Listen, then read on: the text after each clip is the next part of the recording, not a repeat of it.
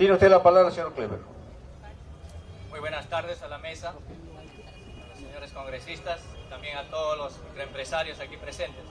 Soy representante de la Mesa de Confecciones de la Libertad estoy aquí justamente para, para poder este, hacer llegar nuestro clamor hacia las autoridades que tenemos de nuestro país, los representantes, sobre el tema que tenemos. Nosotros hemos tenido un tema sobre el parque industrial de, Trujillo, pero por razones eh, políticas ese parque ha quedado sin ejecución.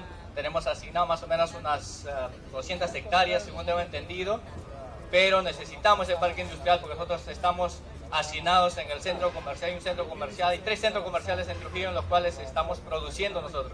Y somos más o menos un promedio de entre 3.000 a 4.000 este, empresarios de, confeccionistas.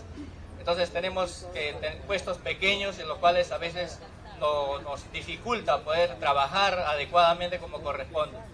De repente mucha gente dirá hágalo con su dinero pero somos pequeños empresarios también que estamos apostando por nuestro país, estamos haciendo, generando puestos de trabajo, estamos ahora con el problema de la migración venezolana que también tenemos que acoger a estos ciudadanos, entonces es una preocupación para cada uno de nosotros empezar a actuar de diferente manera y eso es lo que también se lo pedimos a nuestras autoridades.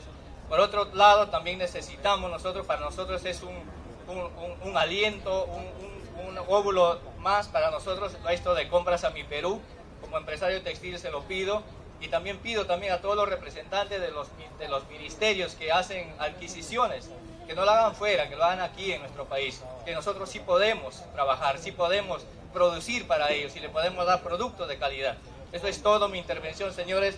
Les agradezco mucho y agradezco y ojalá que haya otras oportunidades como estas para poder hacer llegar nuestro sentir también a todas nuestras autoridades. Muchas gracias.